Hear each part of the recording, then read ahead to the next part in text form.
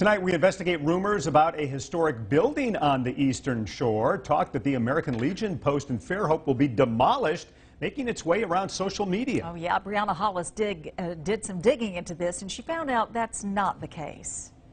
So the fact here is that the property did sustain serious damage during Hurricane Sally, but the Post wants people to know there are absolutely no current conversations about tearing it down. You know, no, no one's planning to demolish this building unless it's absolutely necessary for the safety of, of our members and the public. You know, you wouldn't live in a home that was unsafe for you and your family, and we wouldn't have a, a, a building that's unsafe for our members, but there are no plans, nor have there been any proposals.